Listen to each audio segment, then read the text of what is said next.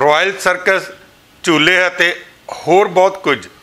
ਜੀ ਹਾਂ, ਲੁਧਿਆਣਾ ਦੇ ਚੰਡੀਗੜ੍ਹ ਰੋਡ, ਵਰਧਮਾਨ ਮਿਲ ਦੇ ਸਾਹਮਣੇ ਇੱਕ ਮਹੀਨੇ ਤੋਂ ਸ਼ੁਰੂ ਹੋਏ ਦੁਸਹਿਰਾ ਦੀਵਾਲੀ ਮੇਲੇ ਤੇ ਹੁਣ ਕੁਝ ਹੀ ਦਿਨ ਬਾਕੀ ਰਹਿ ਗਏ ਨੇ।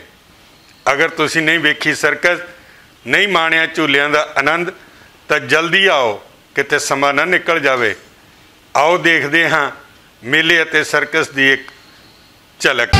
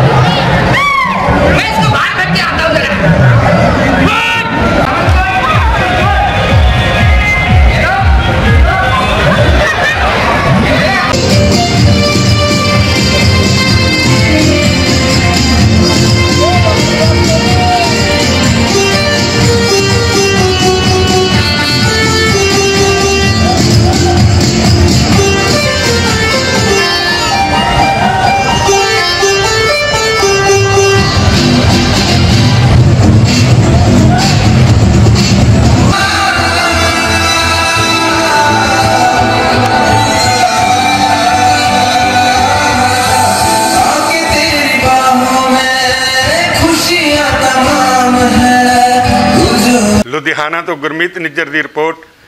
ਕੈਮਰਾਮੈਨ ਵਿਕਾਸ ਦੇ ਨਾਲ fox.ਪੰਜਾਬੀ ਯੂਅਰ ਸਿਟੀ, ਯੂਅਰ ਨਿਊਜ਼।